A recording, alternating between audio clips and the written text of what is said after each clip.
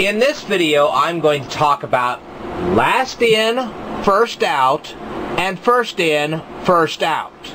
And as you can see right down here, last in, first out, first in, first out.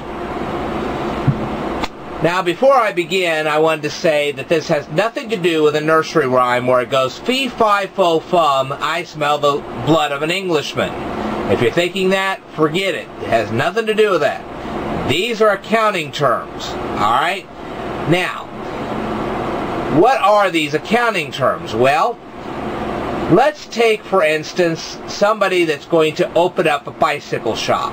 So they go out and they buy $10,000 worth of bicycles and bring it into their shop so later on they can sell them. Okay?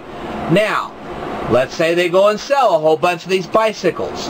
Well, then they're going to need more inventory because they're running out of bicycles to sell the, to the consumer. So they go out and they try to buy another $10,000 worth of bicycles. Well, here's the problem. Not only have retail prices gone up since the last time they bought those bicycles, but also wholesale prices have gone up since they bought those bicycles. Remember, in our society, things go up, usually. Now, sometimes they go down, but most of the time they go up. Alright?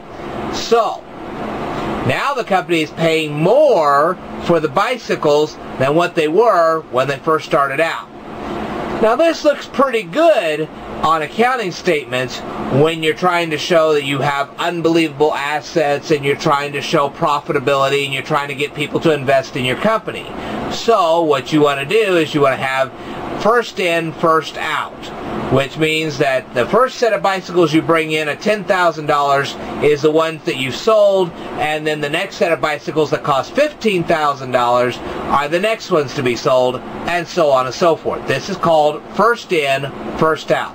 The very second you receive them, that's when you start selling them, and if you bring more in, you're still selling the ones that you brought in originally, and then you sell the next one. But the problem becomes when the tax man shows up.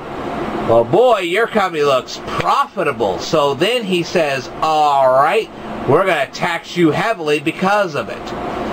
Well, once your company becomes profitable enough, you don't want the tax man just gathering a whole bunch of taxes and taking all, all your profits away. So what you're going to want to do is you're going to want to show that your company is not making as much profit. So then you want to clean out as many of those higher priced assets as you possibly can to show that your company's not making as much profit. That's where last in, first out comes into play. So what you're saying is that we're selling our most expensive uh, inventory first, then we're selling the cheaper stuff later on. And by doing so, you reduce the profitability of your company, and therefore the taxman doesn't get as much money from you. Alright? So that's basically the difference between last in and first out, and first in is first out. You'll see this if you start investing into companies. When they first start up, they look very profitable, and they'll use first in, first out to demonstrate this. However, later on, they'll switch to last in, first out so that they can in turn avoid paying a ton of taxes.